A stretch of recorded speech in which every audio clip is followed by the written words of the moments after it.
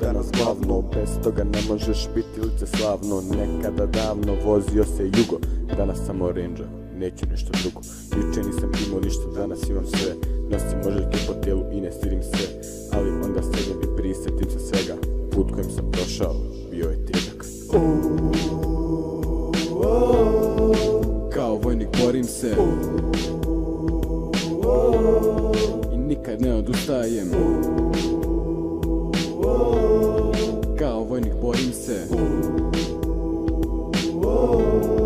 I zato nema predaje. Još kao mali sam, ja sam sam. Htio sam da imam sve što imam sad. Podcepane patike i nedostatak sreće A danas Armani sastavni deo je mene Krenuo sam polako, ali nije bilo lako. Od problema nisam tražio zapad Bila sa bazerom skupe stvari, zlatan zad. Korak ka uspjehu, moj siguran. Kao vojnik borim se nikad ne odustajem.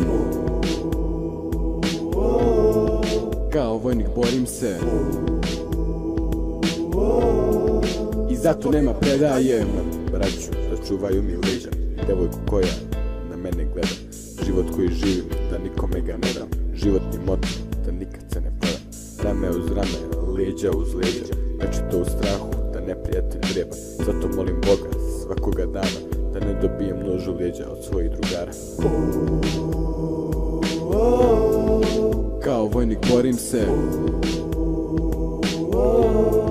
I nikad ne odustajem. Kao vojnik borim se I zato nema predaje